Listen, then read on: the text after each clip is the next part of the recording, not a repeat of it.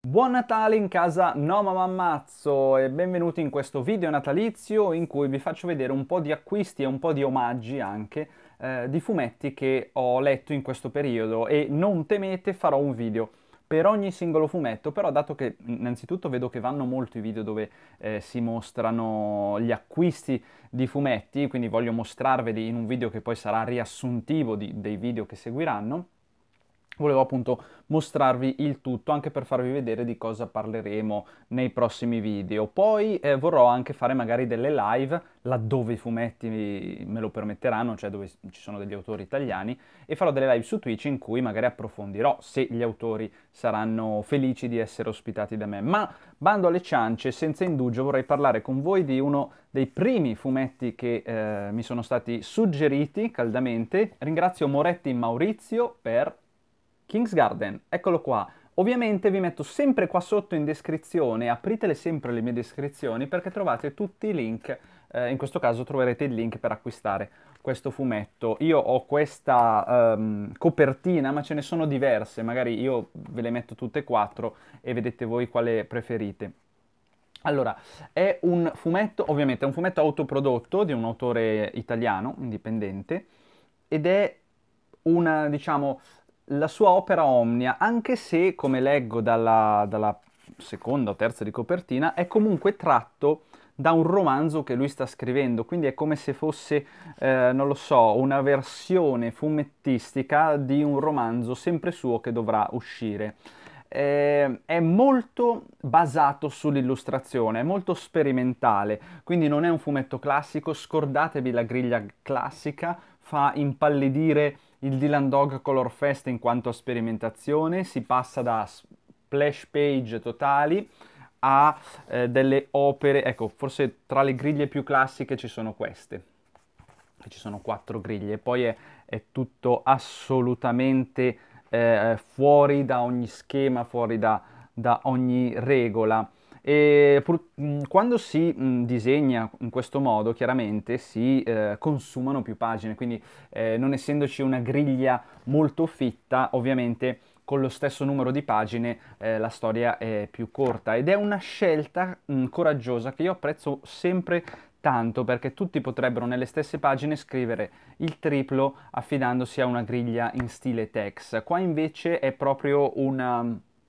una visione eh, da, dell'autore molto eh, appunto visiva, ehm, una, um, un'intenzione registica diversa, autoriale molto diversa, non, qui non si vuole tanto dare eh, un messaggio eh, che viene veicolato per forza dai balloon, dalle parole, ma anche proprio dal, dal disegno stesso. E questo l'ho trovato molto molto interessante. E in un certo senso una origin story, nel senso che noi qua vediamo solamente la nascita eh, del protagonista. Il protagonista è un bambino, un clown del circo che ha come nemesi, diciamo, il, um, il gestore del circo, che è il, l'imbonitore del circo, che è fondamentalmente il suo padre o padre adottivo, che dir si voglia, che lo tratta eh, de merda. È, mi ha ricordato un po' come Mangiafuoco trattava i burattini in Pinocchio, in un certo senso, eh, come se fossero appunto dei non degli esseri umani ma eh, delle sue proprietà da mettere in scena. Eh, la, la, trama fondamentalmente consiste nel fatto che il bambino cerca di scappare da questo, da questo circo, ma c'è molto di più, c'è tutta una metafora eh, sul uh, fatto che lui fondamentalmente cerca di scappare dai soprusi della sua famiglia, dai soprusi della sua vita, dal, dal rapporto orrendo eh, che ha con questa persona, con questa figura, questo eh, gestore del circo, cerca di fuggire anche da tutte le varie eh, da questo concetto della società un po' tossica dove ci sono appunto i, i chiamiamoli gli analfabeti funzionali, no? che rappresentati anche da questo tizio che dice eh, le palle, ce l'hai le palle ragazzo, eh, le classiche frasi stereotipate eh, che ti lasciano incastrato nella vita quando vuoi sfondare, vuoi fare qualcosa di diverso, vuoi fare magari qualcosa di creativo e le persone che non capiscono eh, la tua creatività, la tua arte, la tua intelligenza, perché alla fine di questo si parla, eh, non capendola la, ne hanno paura, l'attaccano perché è diversa, è diversa dalla loro eh, come si dice, banalità di vita, loro, dal loro non essere speciali, dal loro essere banali, normali, mh, mm, essere semplici o in modo ancora più cattivo dal loro essere analfabeti funzionali. Questo bambino, questo pagliaccetto cerca appunto di scappare da tutto questo e sul suo cammino arriva anche un aiutante, un, un leone, una chimera che dir si voglia comunque, che a differenza di quello che si potrebbe pensare nelle storie classiche, nelle storie di eroismo, eh, resta indietro, nel senso resta al circo. Eh, io speravo che scappasse con il bambino e invece resta indietro. Però appunto dicevo è un origin story perché lui finisce, eh, la, la storia finisce che lui riesce in un certo senso a uscire da questo circo, ma è come se la sua avventura fosse appena iniziata, almeno questo è quello che ho pensato io. Poi non so se comunque vuole essere un'opera autoconclusiva che ci lascia un, uh, un, finale aperto proprio perché essendo molto strano, particolare come fumetto potrebbe essere così, però è anche vero che qua c'è scritto numero uno, quindi può darsi che eh, l'idea sia di, di, proseguire. Io lo spero, eh, lo auguro a Maurizio e lo ringrazio per questo fantastico regalo. Il secondo invece è un numero che io ho, mm, diciamo, scoperto navigando nell'internet, eh, navigando su Instagram, ho scoperto questa fantastica copertina che è talmente iconica che non ti può far soffermare a capire cosa stai guardando ed è Dylan Dogui, Viaggio ai confini del gender. Opera eh, volutamente trash, volutamente parodistica, in cui il Dogui nazionale, ovvero Guido Nicheli, interpreta il protagonista di questo albo, che tra l'altro è il secondo, eh, il secondo è appunto Viaggio ai confini del gender, c'è un primo, ehm, un primo numero raff- nella cui copertina viene raffigurata appunto l'alba dei morti viventi. Qua invece viene raffigurata la copertina del lungo addio, ovviamente al posto del Luna Park ci sono un po' tutte le cose che vengono trattate all'interno di questo numero, come la Shoah ehm, e la bandiera arcobaleno LGBT. Questo è un personaggio che rappresenta la sociolinguista che tratta appunto di questi argomenti eh, sul, su come chiamare eh, le persone che non si identificano in, in un genere specifico e nonostante le apparenze, che le apparenze sono date dalla presenza di Guido Nicheli che rappresenta quell'Italia anni 80 Uh, che penso sia la più lontana dal voler accettare un certo tipo di mh, evolversi del linguaggio, eh, chiamiamolo così.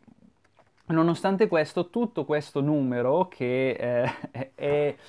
fuori di testa dall'inizio alla fine, anche l'editoriale è tutto assurdo, non, non, credo ci sia nulla di vero, forse l'email è vero eh, in quello che c'è scritto qua dentro è sottilmente progressista. Infatti Guido Nicheli, eh, al secolo il Dogui, fa questo viaggio appunto attraverso lo spazio e il tempo in cui eh, riesce un po' a modificare il, le sorti del linguaggio moderno italiano. Con linguaggio moderno intendo anche il linguaggio televisivo, tutto il trashume che, che, ve, che vediamo, che è un residuato eh, della tv di anni e anni fa, riesce appunto un po' a stravolgerlo in questo viaggio eh, grazie al fatto che in questo viaggio anche lui stesso diciamo apre la sua mente eh, perché comunque il Dogo è sempre stato un po' l'imprenditore moderno lanciato nel futuro quindi in un certo senso riesce a, a comprendere se non per um, diciamo se non abbraccia pienamente questi nuovi concetti quantomeno eh, è capace di abbracciarli per convenienza che è il massimo che si può chiedere da uno della generazione del, del Dogui, eh, vediamo che appunto mh, questo numero va a eh, scimmiottare tutte queste, mh, tutte queste piccolezze, che non sono piccolezze in realtà, tutte queste piccolezze moderne, eh, per, mh, per, fare invece il verso alle persone che si indignano perché ah, non si può più dire niente, eh, ah, è una lobby, ah, ehm, ci sono solo loro in tv, tutte queste cose qua. Ecco, questo numero che sembra parli di tutt'altro, che sembra parli contro eh, il radical chic, ecco, dove mi ci metto anch'io eh, in un certo senso, dove, dove, dove, la gente usa il termine radical chic in modo dispregiativo, in realtà è assolutamente invece contro sempre questi analfabeti funzionali che non eh, no, non riescono ad avere la sensibilità di comprendere alcune cose. Se si parla di sociolinguistica e di sensibilità, se si parla di grammatica, mm, per carità, il discorso cambia, ma magari faremo una live apposta. Fumetto di cui parlerò solamente in un video eh, dedicato perché è un po' la, la, perla non italiana qua dentro che um, avevo addocchiato su Amazon Batman le nuove avventure. Eh, praticamente è un ideale proseguo della serie animata che introduce i personaggi che nella serie animata non ci sono stati, come Deathstroke, come mm, il secondo Robin, e non sto sbagliando, quindi non il terzo Robin Tim Drake, ma il secondo Robin e tutta la sua storia. Viene introdotto Azrael, ho da dire diverse cose su questo fumetto anche dal punto di vista grafico, essendo un appassionato enorme della serie TV Batman The Animated Series, quindi lo, ne parleremo insieme proprio in un video dedicato. Torniamo ai, ai fumetti italiani, ho, avuto, ho voluto fare apposta uno stacco perché qua ci sono invece due fumetti di case editrici un po' più conosciute, una soprattutto è la Sergio Bonelli Editore che eh, anche su vostra richiesta eh, nei commenti mi avete chiesto cosa ne penso della Divina Congrega, non ne pensavo nulla perché non l'avevo ancora preso, adesso finalmente l'ho preso e ne parlerò in un video dedicato molto in, in modo approfondito. Eh, chiaramente la Divina Commedia è un po' un tentativo italiano di eh, creare una sorta di Lega degli Uomini Straordinari versione italiana e sempre su questa falsa riga, cioè prendere dei personaggi della storia italiana realmente esistiti o comunque della letteratura italiana, perché nella Divina Congrega c'è un mix delle due cose,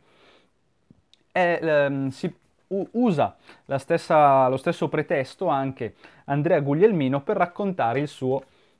Garibaldi vs Zombie, che è edito dalla M3 Edizioni. La M3 Edizioni è la stessa di Capitan Nova, ex Capitan Novara che poi è diventato Capitan Nova e che ora sta mh, proponendo eh, Guardiani Italiani, una sorta di initiative degli Avengers dove ogni regione italiana ha un suo supereroe.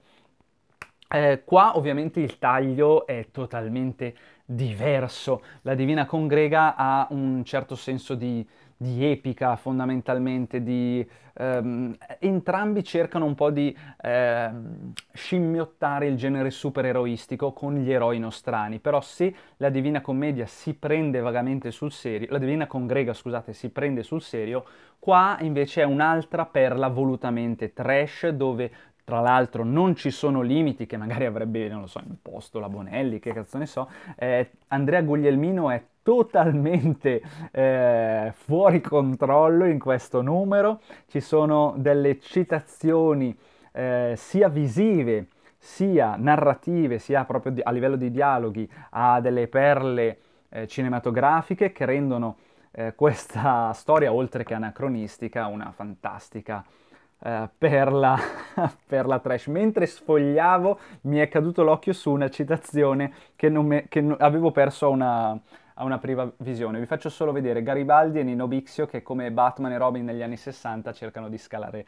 un muro con la corda. Eh, Garibaldi vs zombie è esilarante, ne parleremo bene bene in un video a parte e magari anche in una live, comunque ve lo consiglio. Se non bastasse, vi dico due, due note in più. Allora, innanzitutto Andrea Guglielmino è l'autore di uno dei Samuel Stern che preferisco, che è il secondo girone, il numero 8 di Samuel Stern, eh, mentre il disegnatore è Fabrizio De Fabritis, appunto che disegna Guardiani Italiani per le M3 edizioni. Se non conoscete il suo tratto, conoscetelo perché abbiamo un fumettista, ne abbiamo più di uno sicuramente, però abbiamo un fumettista in Italia che fa opere di questo livello,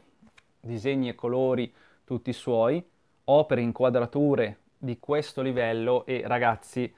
non ce lo dobbiamo far scappare, leggete tutto quello che può essere stato disegnato da De Fabritis perché ha un tratto spettacolare. Bene, io ho parlato fin troppo per un video di presentazione, ma chi se ne fotte, mettetelo a velocità 2 eventualmente, che così si accorcia. Io ne approfitto per farvi tantissimi auguri di buon Natale, se riesco, eh, sempre nella giornata di oggi potrebbe magari già uscire il video su Batman, ma non ne sono sicuro, però mi piacerebbe parlare di Batman nel periodo natalizio, dato che non lo so, mi richiama un po' il Natale Batman per qualche strana ragione malata, se non esce oggi uscirà comunque tra Natale e Capodanno e poi con molta calma da gennaio parleremo di tutti gli altri fumetti che vi ho mostrato in questo video, quindi restate sintonizzati, iscrivetevi al canale, eccetera, eccetera, eccetera. Buon Natale di cuore da Noma Ammazzo, arrivederci.